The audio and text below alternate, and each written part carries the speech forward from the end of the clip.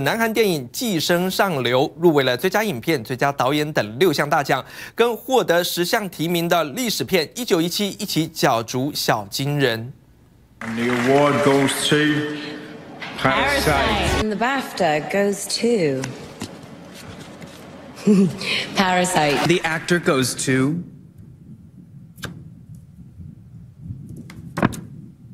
Parasite. 南韩汤片寄生上流写实拍出社会贫富差距自上映以来已经在全球夺下多项大奖引起一阵旋风。寄生上流甚至在美国演员工会奖缔造历史成为第一部夺下最佳电影卡斯奖的外语片。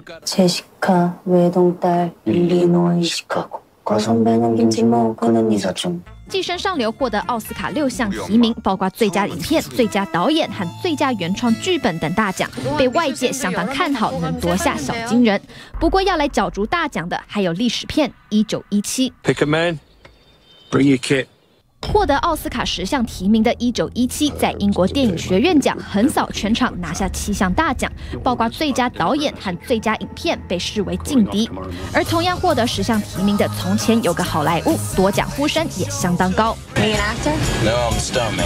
本次入围奥斯卡最大奖项最佳影片奖的电影，都是今年获奖常胜军。除了《寄生上流》一九一七和里奥纳多·吉布莱德·皮特主演的《从前有个好莱坞》，还有《小丑》和《婚姻故事》。